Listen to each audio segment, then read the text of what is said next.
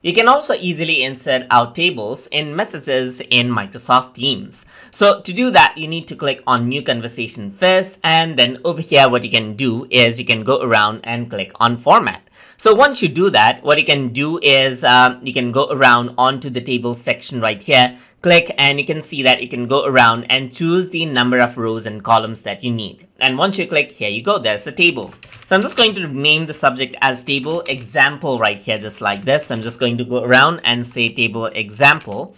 And over here, what I can do is I can type in, let's say for example, table right here.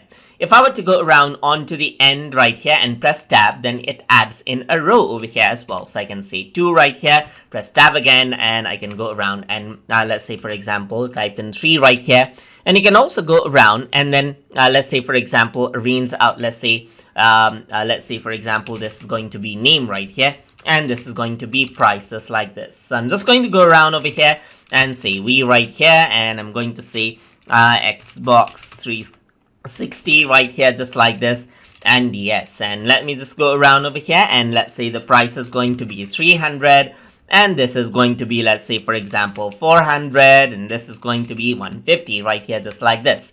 So you can go around select out the um, uh, like text right here and then you can format this out over here as well according to how you like it just like this as you can see so there these are different rows as you can see just like that and uh, you can arrange this out according to how you like it so there are different options over here. For example, if you want to add in more columns, you can click around over here and insert column to the right right here, just like this. So this is, this is going to be discount right here, just like this. And this is going to be 2% and let's say 2.5%.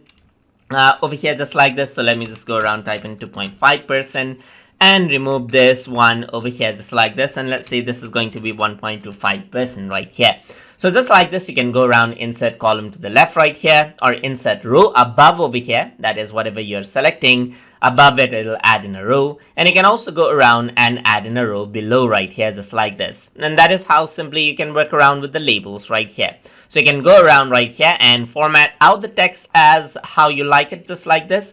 And then there you go. You can uh, change the text color as you can see right here. You can underline this and do different things right here, just like this, just like you would edit out a text right here.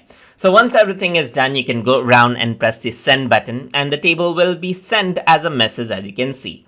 And that is how you can work around with tables and send them in messages inside of Microsoft Teams. So I hope you guys learned something as always.